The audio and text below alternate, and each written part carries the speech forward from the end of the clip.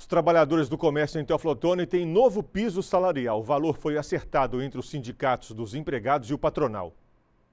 Renata trabalha há 10 anos na mesma empresa no comércio em Teoflotone, com carteira assinada e todos os direitos assegurados.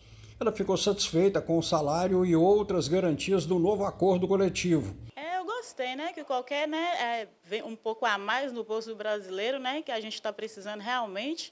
É, lá a gente funciona assim, né? Quando a gente, né, faz as horas extras, são pagas com compensações de folga, tudo certinho, né? A gente tem no direito às nossas folgas, né? Com essa compensação. O novo acordo coletivo dos comerciários está publicado no site do Sindicato dos Empregados. Para a Diva, o reajuste poderia ser melhor para a categoria. Realmente é um salário é melhor, mas não depende só da gente, depende da negociação junto com nós, sindicato, sindicomerciários, com o sindicomércio, né? Então, assim, os dois sindicatos têm que assinar juntos, não depende só da gente. Mas, olhando por outro lado, sim, né? Eu acredito que não foi bem o que a gente esperava, mas vai atender, né? A, a população e os trabalhadores de Toflotone. Além do salário, Diva diz que o calendário de funcionamento das empresas durante o ano também foi acertado com os patrões. Vários pontos, né? Eu acredito que o salário, né, o ponto principal também, né, um dos pontos principais que o trabalhador fica almejando o aumento de salário, entre outros, né? Negociação de horário, de Natal, negociação de horário, é, dia dos pais, mães, né, que é tudo documentado. Nessa convenção, não, a gente consegue barrar alguns feriados. Então, não são todos os feriados que a gente libera para o trabalhador. De acordo com dados do Sindicato do Comércio Varejista, a Teoflotone tem cerca de 18 mil trabalhadores no setor de varejo, atacado e serviços. O novo salário mínimo vai representar uma injeção na economia de mais de 2 milhões de reais. Diretor do sindicato patronal, Guilherme diz que as negociações ocorreram de forma tranquila entre as partes.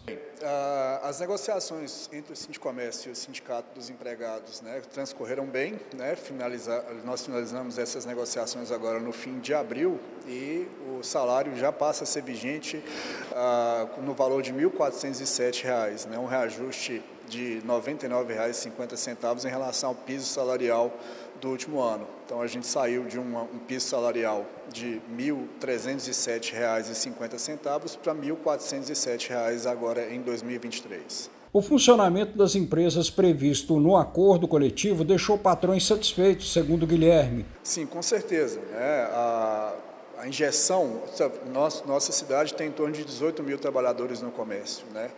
É, com essa injeção desses valores, né, desse aumento, e se você considerar uma estatística que de 60% a 70% né, do salário médio do brasileiro ele é gasto né, com alimentação, com combustível e com farmácia, então é um aumento salarial que ele acaba voltando para o comércio, ele, ele, ele ah, aumenta né, o faturamento das empresas, gera emprego, então é toda uma cadeia né, que é movimentada em função disso. Após encerrar as negociações para o novo salário comercial em Teoflotone, o Sindicato dos Empregados continua na negociação para outros 21 municípios nos vales Jequitinhonha e Mucuri, só que essa negociação é com a Federação do Comércio em Belo Horizonte.